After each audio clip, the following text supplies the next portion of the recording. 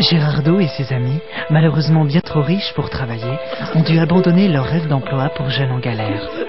En secret, affublée d'un masque, Cécilia, la radicale socialiste, fait des blagues téléphoniques en appelant Bernard Kouchner à 3 heures du matin. De leur côté, Paola et Gérardo ont acheté sans savoir le même casque jaune.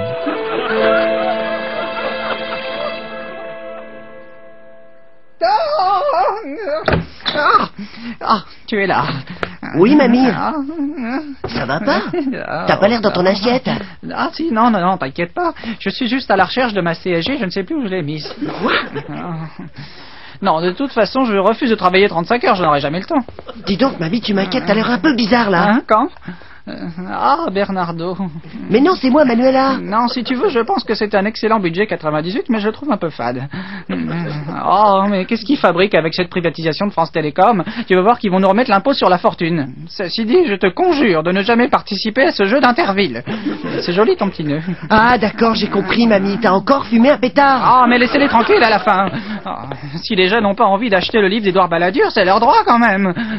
Ah, ah, et puis pourquoi ils ont fermé le Queen? Écoute, mamie, sauf le respect que je te dois, j'ai l'impression que t'es complètement stone. Ah, mais oui, bien sûr. Et la hausse de leur devance, toi, tu t'en fous. Ah, Ricardo, quand je serai président, parce que je compte bien me présenter, eh bien, je mangerai de la tête de veau.